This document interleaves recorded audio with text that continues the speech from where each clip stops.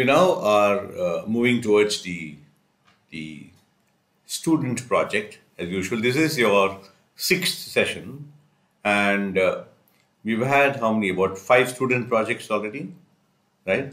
So it, it's nice. It's nice to know that there is someone who you can actually um, actually uh, imitate.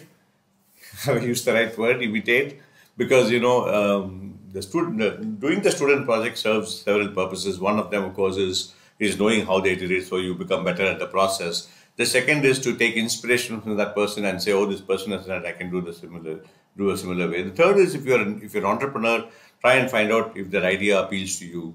Then you can you can you can find out if you can collaborate with the person who brought out that idea and and do something to make that idea happen. And the fourth thing, of course, it gives you tremendous confidence in creative thinking because you know that when you go from problem to solution, you can and, and you actually come out with some tangible solution which can be implemented. The confidence in your own ability to think through a problem, come to a solution is tremendous. Nothing can beat that. So now I'm going to go to the student project. The, the name of the student is uh, is Sahana, Sahana Gangadharan uh, from IIT Madras, and uh, she. Um, so her her um, what do you think she would have done first? She would have done first. She would have chosen a United Nations Sustainable Development Goal. So now the goal that she's chosen is goal number six: clean water and sanitation. So clean water and sanitation. There, there, there's apparently an emotional connect for her to clean water and sanitation, which is why she chose it. So this is the target selected. Now all this is very familiar to you. I think if I, if I wake up, wake you up in your sleep and ask you what's the next step, each one of you will say it, right? And that's how familiar you must be. So the targets and indicators that she selected, all of them are there.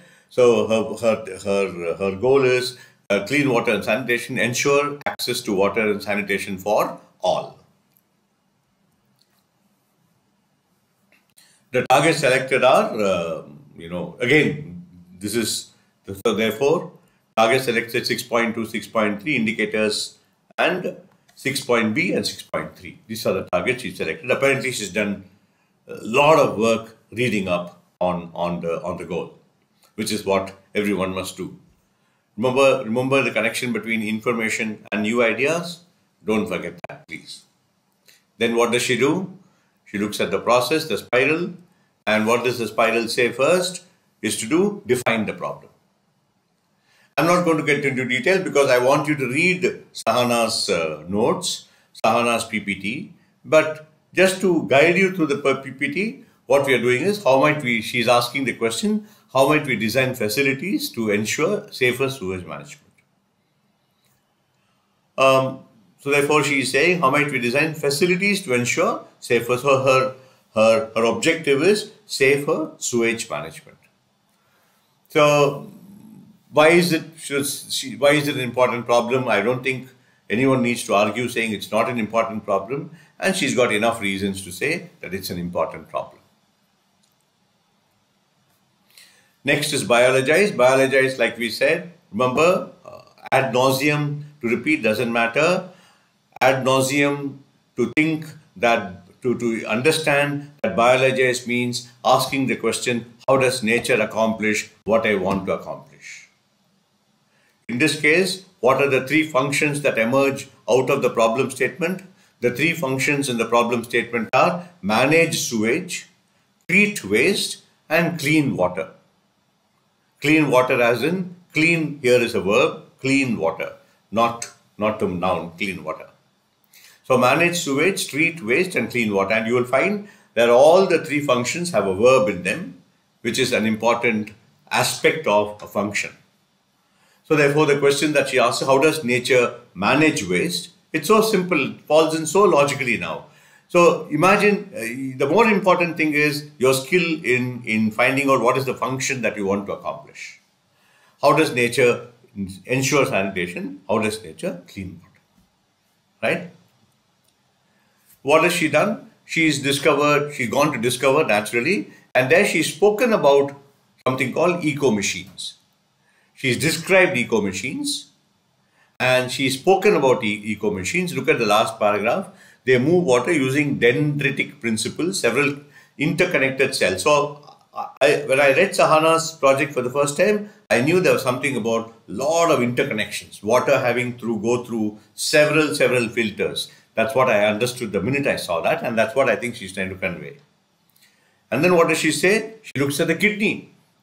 I think very, very rare. Normally, one would look at outside the, the, the body to look at organisms. Here she's saying, let me look at my own kidney. And what does she, she find? That uh, the kidneys purify blood, purifies, uh, purifies blood, maintains electrolyte concentration, captures, look at that same thing, it's coming back, the idea is coming back to captures, absorbs, filters water. And she she go on goes on to looking at the kidney and all that. She just you, you can read all these descriptions on your own. Otherwise, you'll get bored if I keep on reading it line by line. So here she she's actually um, talked about something called Biolytix water filter. If you look at the second paragraph, you will understand why she's talking about it. She's saying treatment of sewage, how forest litter decomposes, insects, insects, microbes convert waste and humus which into humus which acts as a filter. So here she's talking about several organisms that filter waste and she describes what is called a Biolytix water filter. So what how I interpret it is because what I learned from Sahana is that this if I if I read about the water filter, I understand what nature does. So this is her discover. The next one is abstract. So how do I translate the biological strategy to a design strategy? So she is abstracted design strategy. She's made some drawings, very, very clear. You look at you look at this paragraph and you'll start to understand how easy she's made the process of filtration. And she's done one more abstract to explain it even more deeply. How interacting organisms in the ecosystem filter waste. So her whole thing is about filtering, interacting organisms, etc., etc. Again, she's done one more abstract, made it even more simple. She's actually drawn pictures to help us understand what she has in mind. How does nature accomplish the function that she wants to accomplish? How does nature clean water, etc.? So there's one nice word here called stepwise architecture of ecosystems. Maybe you can Google that. Then she does emulate you know, emulate is idea. So here she's got an emulate idea. How do I apply the bio-inspired strategy to the problem I wish to address? So please read it. I'm going to give you, you, you can pause the video now and read how she does the emulate. And if you have some questions on this, you can you can use the live sessions for the questions or you can write to us and ask some questions about about this idea if you're interested in, the, in this idea. Again, she's made it, you know, her idea is going towards, I think, having beds. I think, as we will see, she's having some beds to make the water filter from one bed to the other bed and all that. And finally, of course, she's talking about evaluate. She's talking about evaluate. So from from emulate, so therefore her emulate idea is suburban wastewater management system design. She has she has she has written down the design.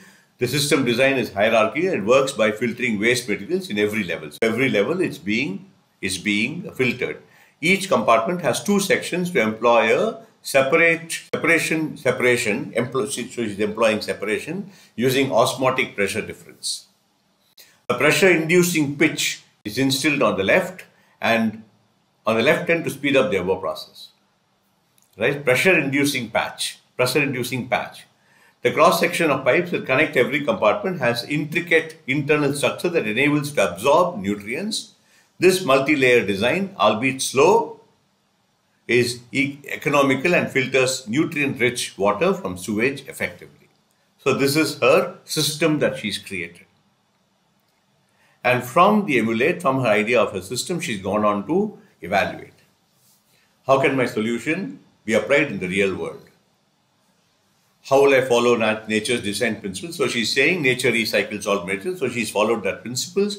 Nature uses chemistry and materials that are safe for living beings. in her in her design she is not using anything toxic or unsafe.